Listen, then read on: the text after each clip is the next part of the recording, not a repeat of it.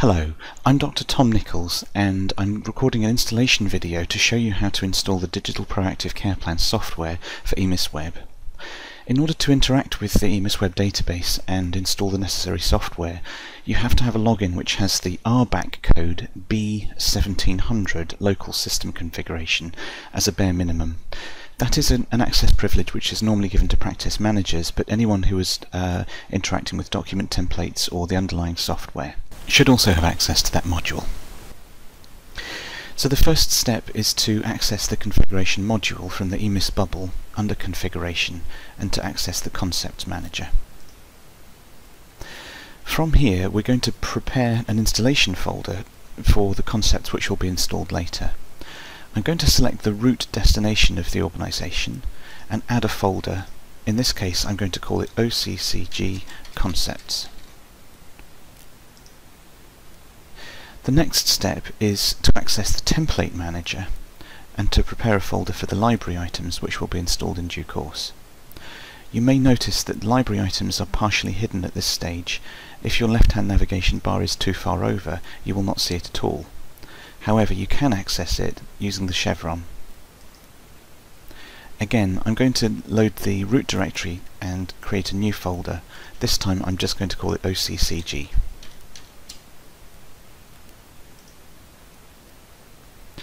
My next step is to install the document templates. The document templates are here from a second tab, but in this case, because this surgery already has one, I don't need to create a new root folder. I'm going to expand the folder so we can see them.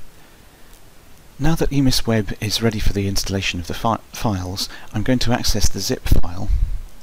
In my case, I've created a folder from my desktop called Installation Files for the DPCP, this is the zip file which I've downloaded and put in it, but to extract the files I'm going to right click on the item and click Extract All.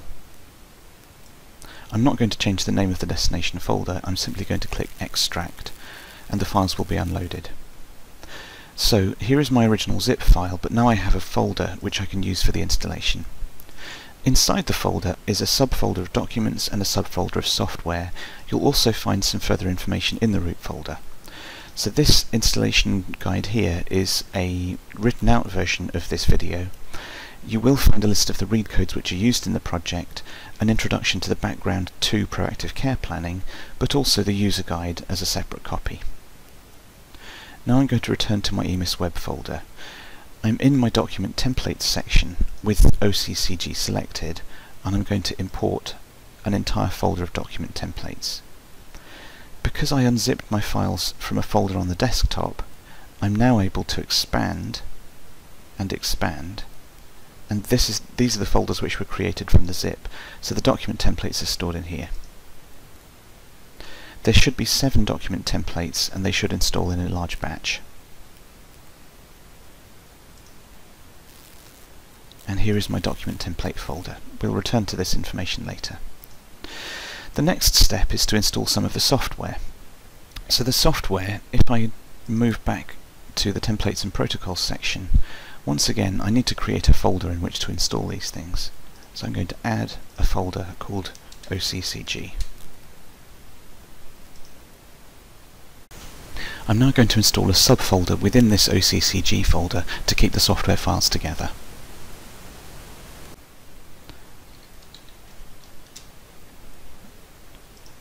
So I've now created a subfolder to import our software. Having selected this folder, I'm now going to import the items one by one. So I've clicked Import, I'm going to go to my desktop, I'm going to navigate to the installation files, here's the folder which was unzipped, and here's the subfolder with the software. There should be four items, a quick launcher, a message warning, a data entry template and pop-ups so I'm going to click and import them one at a time. As I start importing them, the EMIS prompts me to understand where the concepts are going to be stored, and I'm going to store them in the folder that we prepared at the very start. I'm now going to import a second one.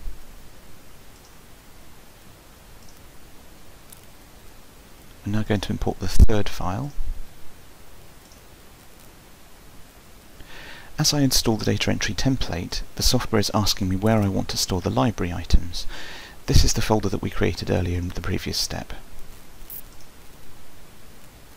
It's warning me at this stage that the concept already exists.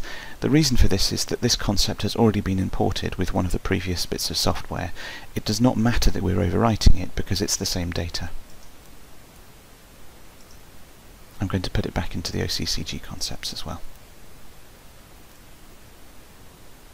And the final step is to install the fourth bit of software. Once again, I'm being warned that there's a pre-existing library item. I don't mind overwriting it because it's the same software. It's also warning me about the concepts which have already been installed. This is a normal part of the process. You can simply overwrite them.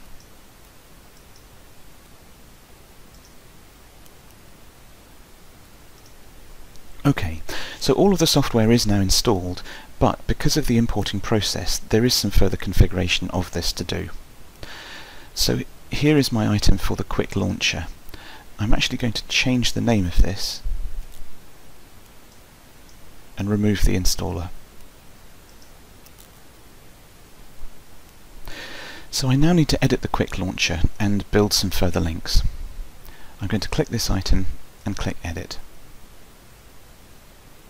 I'm going to zoom this out using the button on the overview mode to show you what this software looks like. Unfortunately, because of the way that EMIS templates are installed, each of these items will need to be removed and replaced with your new live items that you've imported. I'm going to zoom in so that you can see exactly what I'm doing. So I'm going to start with this item here. At the moment this is just a placeholder with information showing you exactly what you'll need to replace in here. So I'm going to need to create a launch document action node and it's going to need to point to the digital proactive care plan document. So clicking on the node it now has a blue circumference showing that I have th this is my active node. I'm going to press the delete key on the keyboard and delete the item. Now I need to add back in the relevant node. So I'm going to choose, choose launch document I'm going to navigate to the folder where the document is stored.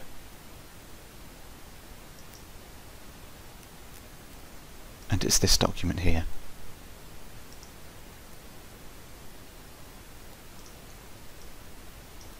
Now I need to repair the link between this node and the, the end terminal node.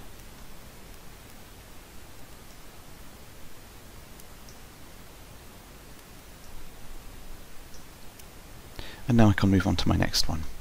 I'm going to zoom back in so that you can see what I'm doing more precisely again. So, this node is going to be a create letter node pointing at the UDNACPR form. This is my selected node, you can see from its blue circumference. I'm going to press the delete key on the keyboard and remove it. Here's my create letter node.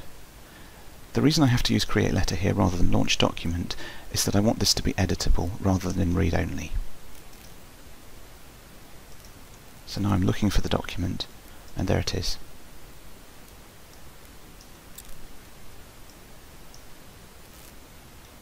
Now I'm going to zoom out once more, I'm now going to uh, select this item from the menu, and once more replace this.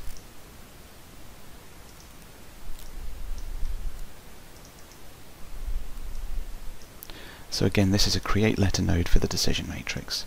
So now I know what it is that I'm going to replace it with.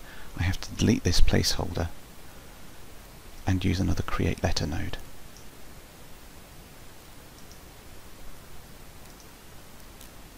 And there's the decision matrix.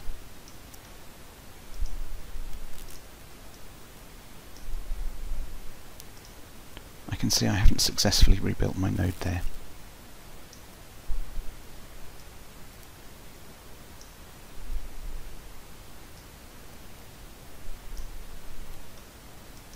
Okay. So, on to the next node. This again needs to be a create letter node, and it needs to be for the summary document with a matrix built in. So this is my active node, delete on the keyboard.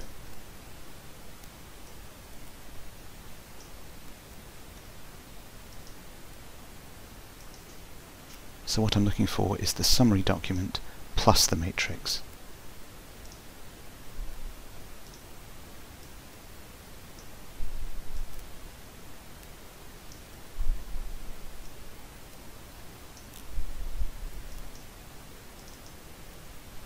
So this is a create letter node, the summary without the matrix.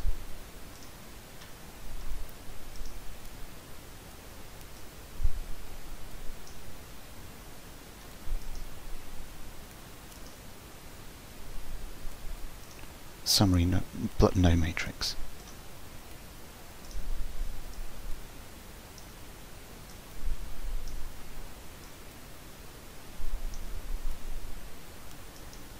My next placeholder is a launch document node, not a create letter node, and I'm looking for the draft form with a built-in matrix.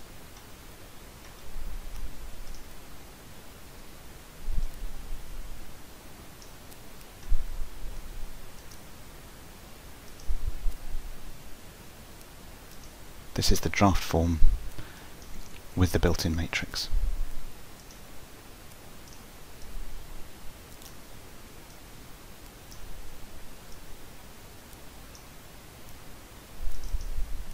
And this is my final placeholder. So I need a launch document node. It needs to be the draft version but without a matrix.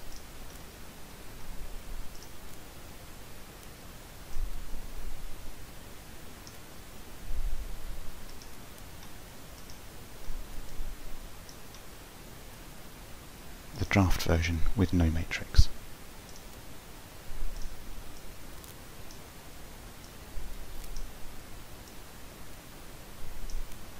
Okay.